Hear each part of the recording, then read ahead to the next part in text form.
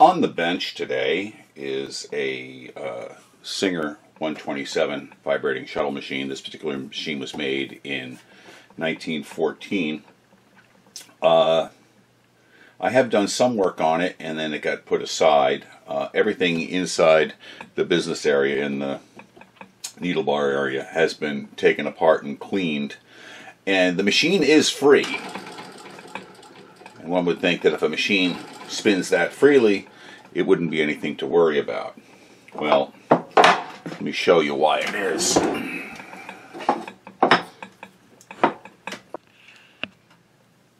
As you can see, the pitman that drives the vibrating shuttle, although it does move smoothly, let me move that around a little bit here, it does move smoothly, it is very, very gross. And so this is all going to get taken, and, and the shuttle carrier too is, is filthy. And let me pan up a little bit.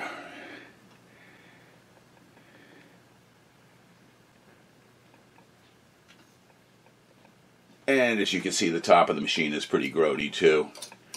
A lot of gross stuff up here.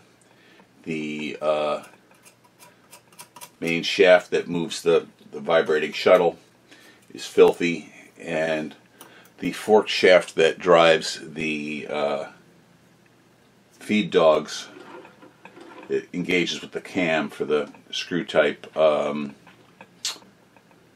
uh, stitch length adjuster, the stitch regulator. It's disgusting too. Although everything moves nice, it's just gross. So what we're going to do is we're going to take everything apart on the bottom of this machine. Plus we're going to pull the stitch length adjuster out.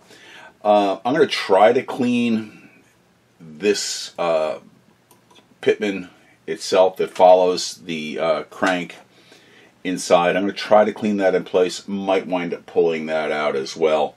I'm going to try to avoid taking everything apart inside the needle bar area because that's like I said that was already cleaned out once. Um, might wind up having to take some of it out again. But anyway, that's the um, the project du jour. All right, we're going to start by taking off the uh, hand wheel and the stop motion knob. Already got the back cover off. I'm going to leave the cover on the, the front of the machine at the moment. And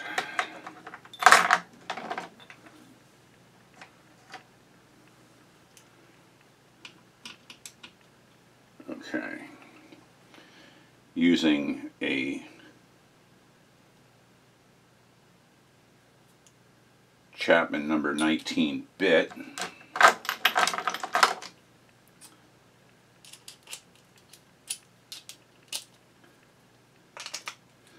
Going this. Okay.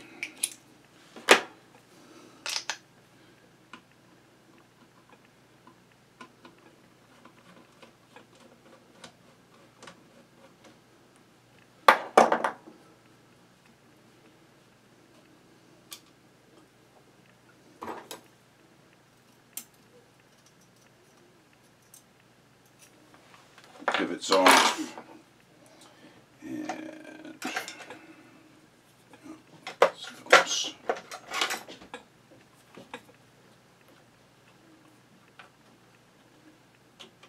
Oh, that is just so disgusting. Can't even find the screw slot. There it is. There's so much caked in crap in there. Just loosen that a little bit. Is this the correct size wrench? Yes, it is.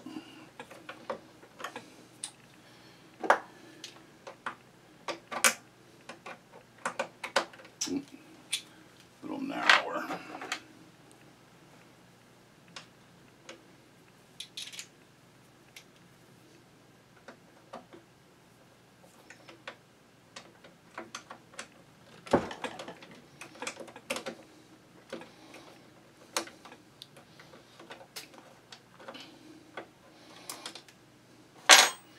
Getting that eccentric off.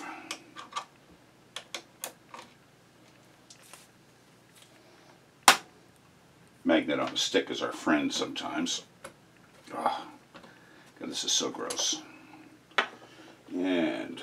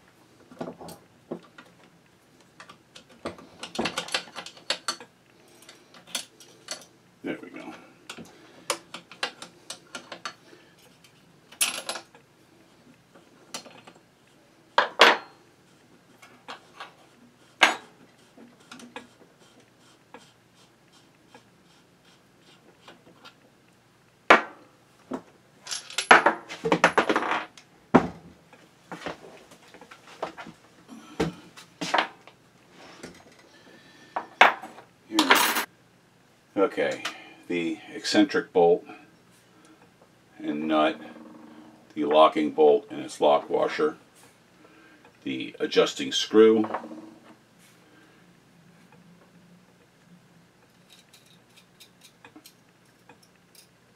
the sliding block, the bearing,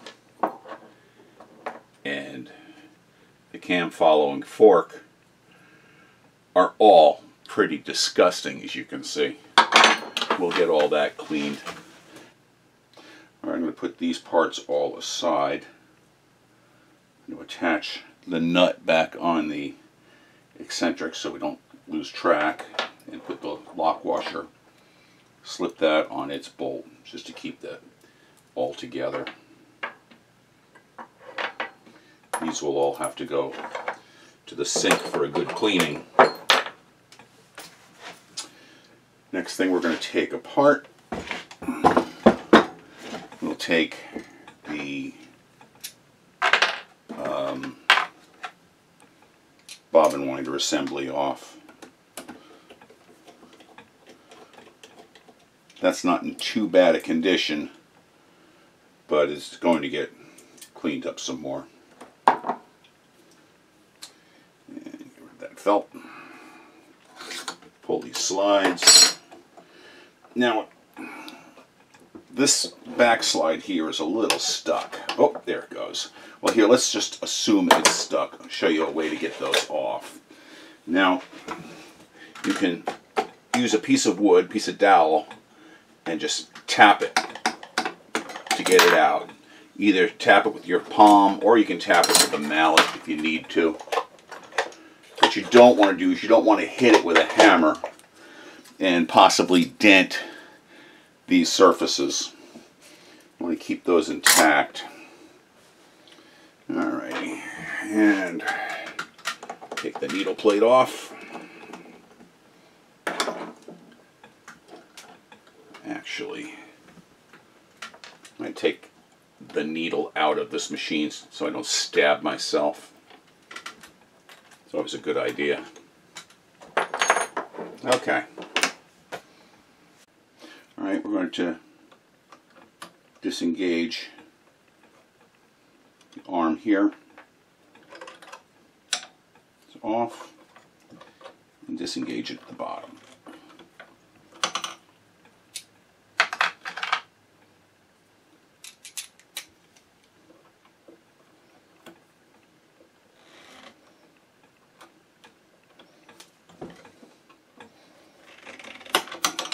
Okay, it doesn't want to come, so we're going to use the ratchet on the extension. Let's just pop this back on here for the moment.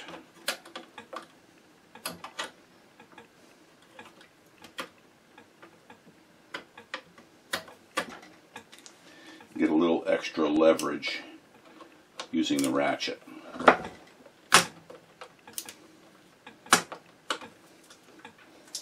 Mm -hmm.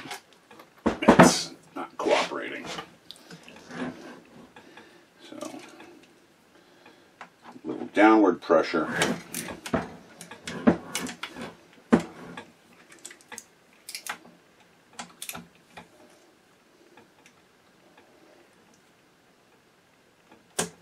There it goes.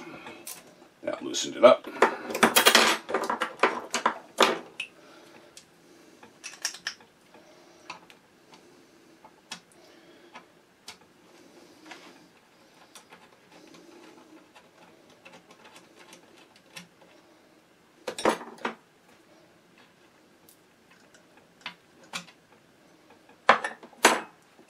Arm is off. And trying to do this so you can see. I don't know if this is going to come off easily. My guess is it probably won't. I got to clean some of the shmoo out of the slot here. There is so much uh, just junk in that screw slot. And see if I can find a more appropriate size screwdriver bit. Okay, that one's a good fit.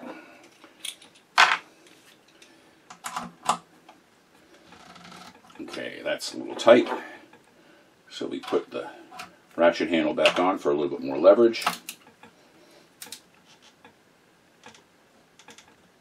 There it goes. Back in there. That's still pretty tight. Okay.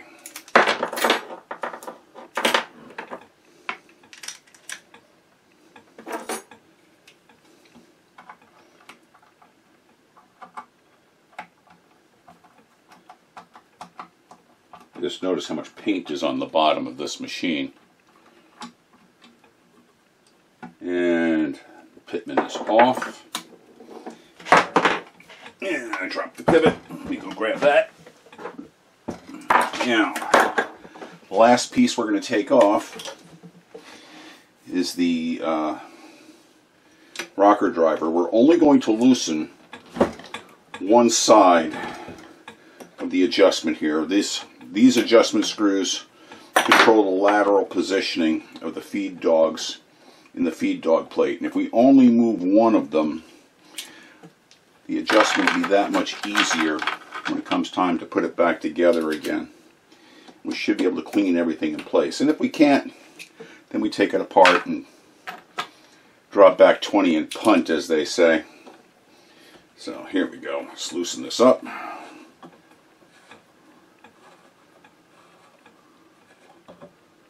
And oh, there we go. Came off with the feed dogs. I should have taken those off first. All right, I'm going to put this to the side for the moment. We'll take these feed dogs off.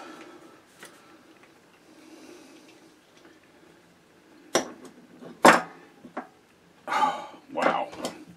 These feed dogs are actually glued practically in place. These are gross. Everything here is gross. And put that screw back on there. All right, the uh, this is the shuttle carrier on its pitman and the pivots. Um, it is pretty disgusting, as you can see. Let me grab out a Q-tip, give you an idea how disgusting this is. Just a couple little passes with a Q-tip. You see how much crud is coming off on that. Focus. Yeah, so this is this is pretty gross. So this is going to go into. Uh, it's either going to take a trip to the sink or it's going to take a trip to the ultrasonic cleaner. Um, I'm thinking it's going to go to the ultrasonic because there's a lot of stuff on here that I want to knock it off first with the ultrasonic and then we can take it to the sink with the scrub brushes. I deliberately did not take the carrier off of the pitman. Um, that is an adjustment and uh, I might wind up taking it off. Well, I am going to wind up taking it off, but I want to leave it in place for the moment. I want to make some measurements. Because this machine actually does stitch nicely. Uh, this, you can see how the, that's just scraping off. That's going to come off in the sink. Um, this bearing here is pretty tight. Let's see if it'll loosen up. And if this is really roached out, I do have some replacement bearings. Get that off. Oh, wow, that is tight. That is tight. Yeah, that's going to go into the ultrasonic. What we use in the ultrasonic is um, 5 or 10, well, I think we're going to use 10% solution this time around of simple green in hot water. Uh, likewise, the feed dogs are going to go into the ultrasonic. Get a lot of the crud off of them. Like I said, the ultrasonic is not a panacea. The ultrasonic is just going to get the worst of the crud off of it. Then the parts will go to the sink and actually get scrubbed with um, scrub brush, hot water, and Dawn dish detergent and then of course everything will get dried completely and um, blown dry with high pressure air out in the uh, out in the garage. We have a uh, 60 gallon air compressor that puts out an inordinate amount of air pressure, and so it will get blown dry and then wiped down again and oiled. But uh, so that's where it sits. The underside parts sit right now. And while that stuff is cooking in the um, ultrasonic, we'll take a look and see if we can clean how much of the uh, machine we can clean without taking it apart completely, uh, the main drive shaft, but I have a feeling that's going to be coming out as well. Alright, these parts are cleaned. Um, all the uh, screw heads are cleaned up. Everything has been uh, cleaned and the shmoo removed. Um, I do take uh, all the larger pieces out into the garage. I have a uh, bench grinder with a wire wheel, and I do wire wheel the majority of the crap off after it's been washed. Areas where I can't get to it with that bench grinder, I take a rotary tool with a small wire brush and um, go in and get the other areas just to get the residual shmoo out. Um, anyway, these component parts are all done. I haven't touched the uh, stuff for the stitch length regulator yet. Um, that's got to be done yet. And now I'm going to take a look and see if I can, how much I can clean of this mechanism. As you can see, actually you can't, it's not in the shot. Let me put that into the shot. Alright, as you can see, that's spinning nice and freely. So it might have surface dirt on it. And if I can, through the access holes on the bottom, the back, uh, the back here and through here, and through the bottom, if I can clean the majority of the shmoo off, I will do that. Otherwise, I have to take the main, um, the main shaft out to get this piece off. And if there's no need to remove the main shaft, I don't like the idea of doing it. Um, it's not like this machine's being repainted. Um, the end play on this machine is perfect. It, there's so many adjustments that are already in good stead right at the moment. Why mess with it if it's just a matter of a little bit of surface dirt? And I can probably reach most of it through these access points. So um, let me see what I can come up with and I'll come back when that's done.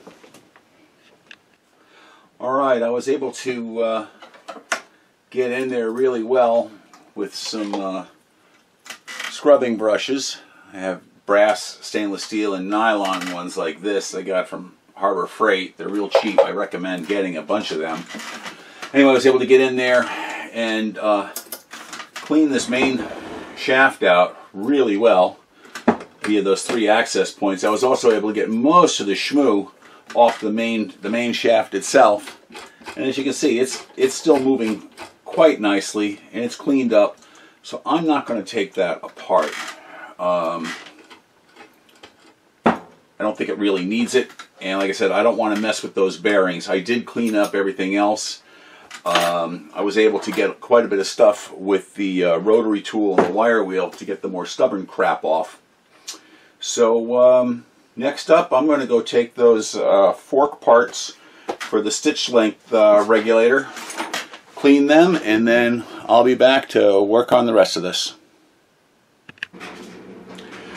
Okay, all of the stitch length regulator parts are now cleaned and polished. And uh, so we're ready to go. We're going to start putting this together. We'll start with the feed dog rocker assembly, which is going to go on this side. I'm just going to let this run in real time and you can see how it goes.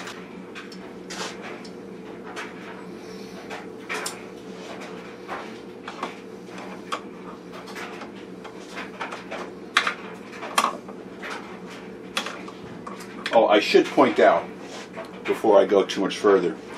This bearing, which was all seized up, I was able to get that freed. I did not have to replace that bearing.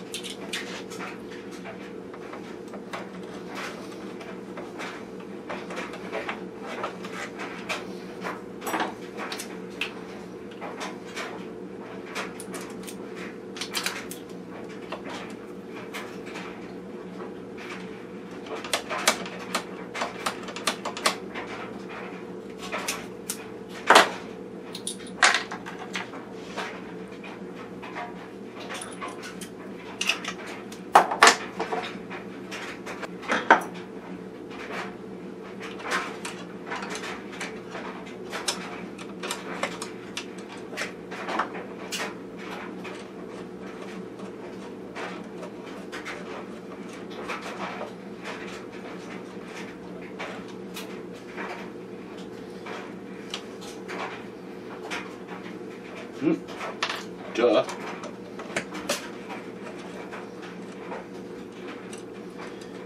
It always helps to look at the proper orientation of the parts. Because that was bass backwards. It's upside down. And I gotta admit, I do that every time.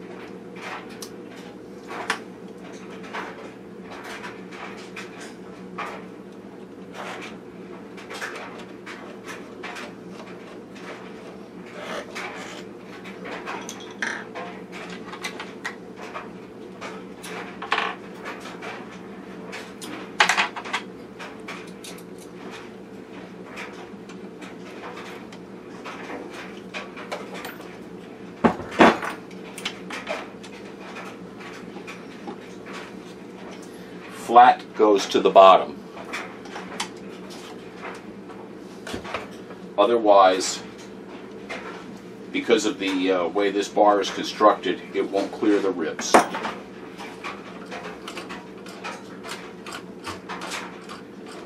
Okay.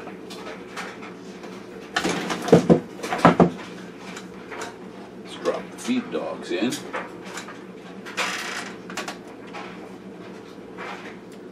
Admittedly, it's a lot easier to put these feed dogs on when uh, you don't have all the other crap from the needle bar area in the way, but that's okay.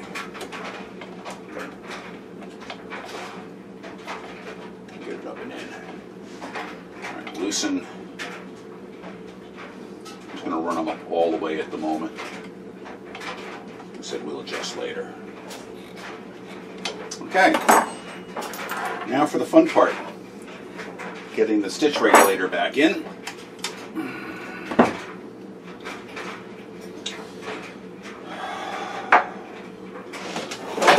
One last pass.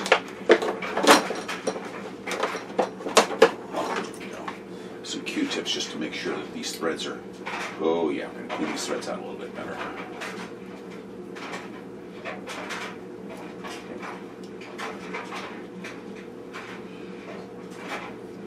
Okay.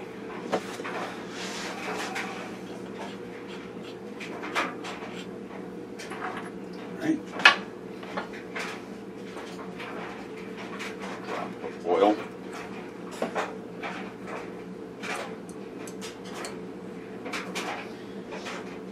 I do have a video on how to put these stitch length regulators back in.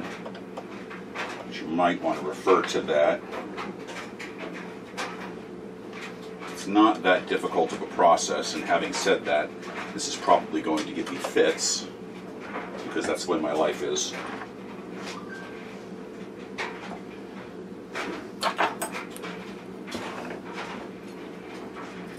You're not going to be able to see that that well. This is basically just showing you real time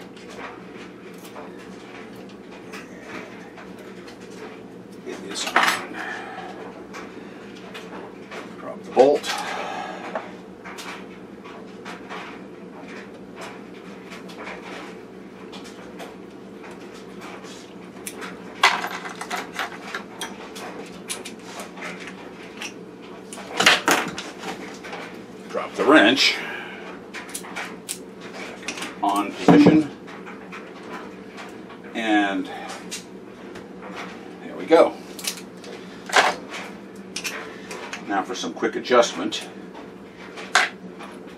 First things up, I'm just going to lightly put this nut on the back.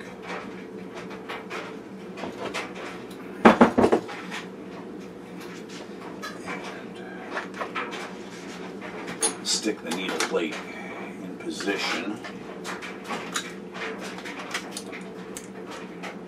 Not going to. This is not a permanent. Actually, it is. It's pretty permanent.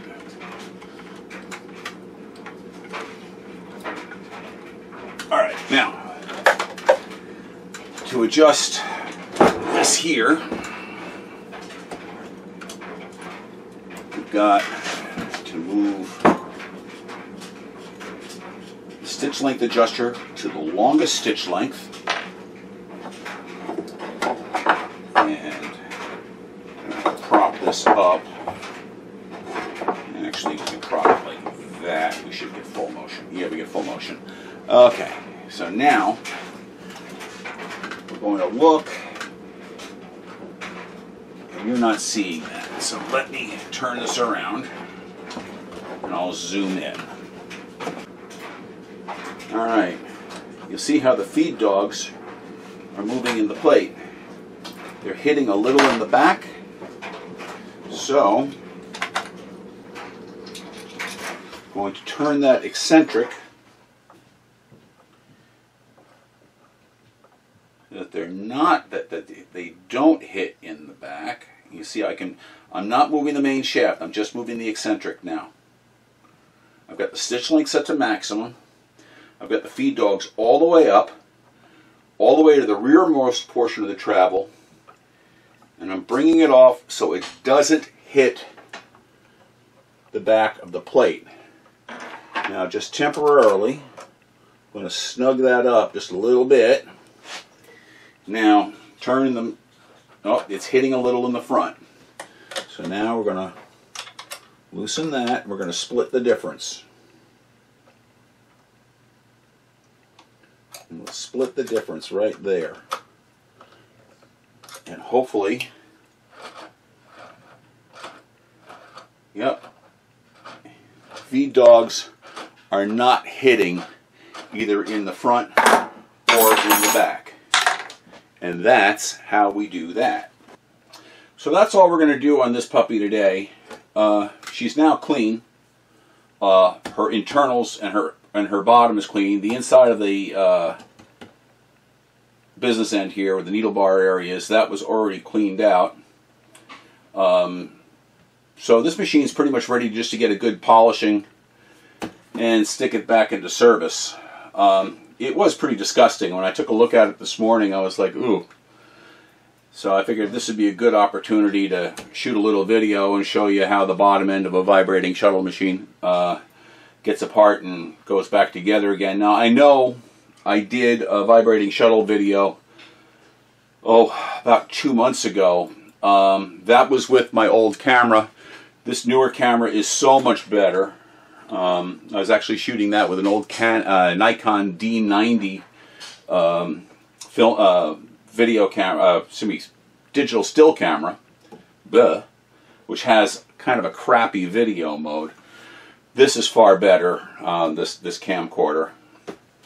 So um, anyway, she'll get polished up, she'll get cleaned up. I'm not sure when I'm going to get around to doing that, but um, this this this sewing machine does work very nicely. Um, I will double check all the adjustments as far as the uh, clearance to the uh, for the shuttle carrier with the bullet shuttle in. Here's a shuttle. Get it over there. Okay. The clearances look about right. I haven't measured them yet. Obviously, you just saw me put it together in real time. But I'm pretty sure it's going to be okay.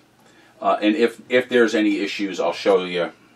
Uh, I'll, I'll come back and I'll do another video. Actually, I'll come back and I'll do another video anyway, showing you how to make those measurements and get these uh, shuttle carriers set up so that they stitch nicely. Uh, but now the stitch length regulator is working nicely and the machine still moves quite nicely. So I think that we can call this a success and chalk this one up to um, just get ready to polish and either put it back in service or get it out the door, whatever. So anyway, thank you for watching, and um, we'll catch you on the next one.